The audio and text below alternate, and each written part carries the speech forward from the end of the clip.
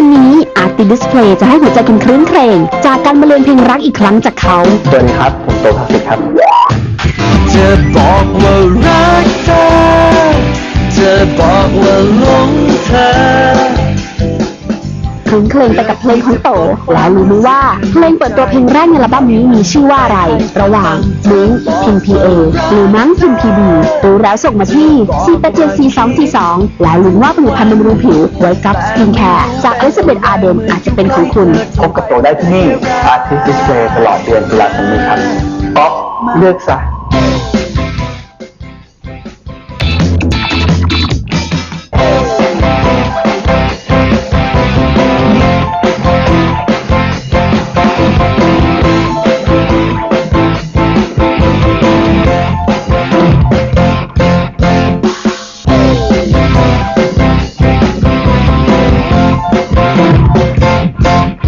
ภาพรวมของอัลบั้มนี้นะครับ ก็จะมี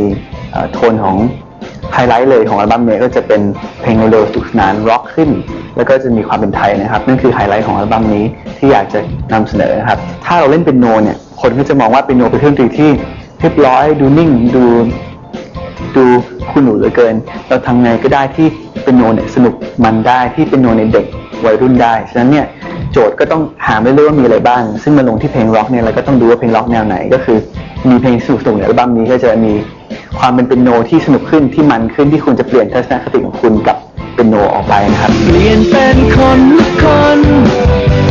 เปลี่ยนใจไปทั้งใจ เปลี่ยนให้ฉันกล้าพูดทุกคำที่ยากยากๆให้ออกมาจากหัวใจ ตอนนี้เราโดน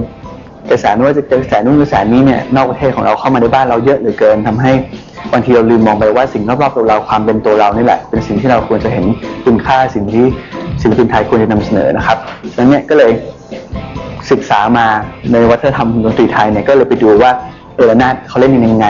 มีอะไรบ้างเนี่ยสนใจที่สามารถมาร่วมงานกับเราได้บ้างเนี่ยก็เลยหยิบมาแล้วก็แต่งเพลงหนึ่งให้กับระนาดเล่นแต่งเพลงให้กับซออูเล่น ถ้าคุณฟังเพลงนี้ผม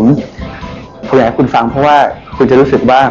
ดนตรีไทยมันไม่ได้เชยนี่คิด ความเป็นไทยเนี่ยมันไม่ได้เชยไม่ได้โบราณอย่างที่เราคิดเลยความจริงมันเป็นอะไรที่ขลัง เป็นอะไรที่เราฟังแล้วรู้สึกขนลุกรู้สึกว่านี่แหละมันเป็นตัวเรานี่แหละ ประเทศเราน่าจะไปในทิศทางนี้วัยรุ่นเราน่าจะไปในทิศทางนี้มากกว่าจะบอกว่ารักเธอจะบอกว่าหลงเธอเพื่อที่จะปลดความรู้สึกขึ้นในใจและปล่อยมันออกไปให้เธอฟังจะบอกว่ารักเธอับคิดถึงทุกวัน แต่ไม่รู้เป็นอะไรเมื่ออยู่ใกล้เธอเท่าไรพูดได้แค่รักเธอมั้ง